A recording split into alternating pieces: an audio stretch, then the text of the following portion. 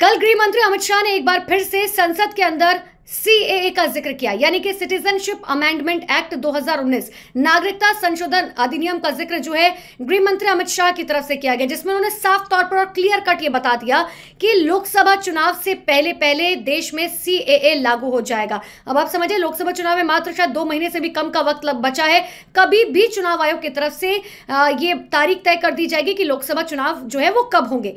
लेकिन अब आप इन सबके बीच में समझिए कि गृह मंत्री अमित शाह ने जो है, अपने जो उनके उनके मुस्लिम भाई हैं, उनसे इस बात की अपील की कि मैं अपने मुस्लिम भाइयों से इस बात की अपील करता हूँ कि किसी के बहकावे में ना आए। उन्होंने ये भी कहा कि मुस्लिम भाइयों को बहकावे बहकाया जा रहा है, उनको ये समझ नहीं आ रहा है कि सी ए क्या है। अब दर्शकों के लिए ये समझना बहुत ज़्यादा ज़रूरी है कि सी ए ए क्या है, और यही समझाते हैं हम आपको आज आसान शब्दों में। सी ए यानी कि सिटीजनशिप अमेंडमेंट एक्ट जो 2019 में लाया गया था।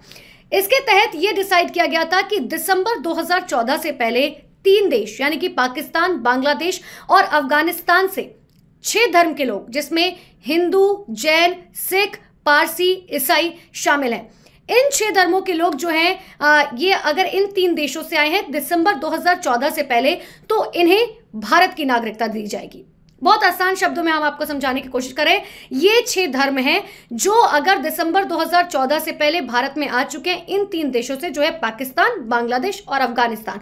तो आपको भारत की नागरिकता दी जाएगी, क्योंकि साफ़ तौर पर जो है सरकार ये मानती है कि अल्पसंख्यक समुदाय के लोग हैं और इनको नागरिकता दी जानी बहुत ज़्यादा ज़रूरी है। अगर इनको नागरिकता नहीं दी जाएगी तो इनके ऊपर लगातार अत्याचार होते रहेंगे और इसीलिए बहुत ज़्यादा ज़रूरी है कि इन्हें जो है अब वक्त आ चुका है कि अब इन्हें सीएए के तहत नागरिकता दे दी जाए।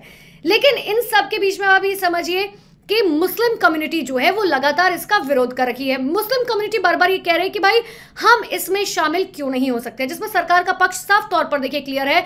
सरकार ने साफ़ तौर पर कह दिया कि हम अल्पसंख्यक समुदाय के लोगों की बात करें, यानी कि उन देशों में जो अल्पसंख्यक है, चाहे वो पाकिस्तान हो गया, बांग्लादेश हो गया, या फिर अफ़गानिस्तान हो गया। वहाँ पर मेजोरिटी में मुस्लिम ज़्यादा है और अगर माइनॉरिटी में देखा जाए तो ज़ाहिर सी बात है, अल्पसंख्यक में जो है हिंदू, पारसी, सिख, ईसाई जो है और बौद्ध के लोग आते हैं। और यही सरकार सरकार ने क्लियर कट इस बात को समझाने की कोशिश की है कि सीए के तहत जो है किसी भी व्यक्ति को देश से बाहर नहीं निकाला जाएगा। क्योंकि अगर मुस्लिम भाइयों को इस बात के लिए भड़काया जा रहा है कि आपको जो है देश से बाहर निकाल लिया जाएगा, आपकी नागरिकता छिन जाएगी तो सरकार ने क्लियर कट कह दिया कि ऐसा कतई नहीं है। किसी को भी जो है देश से बाहर नहीं निकाला जाएगा।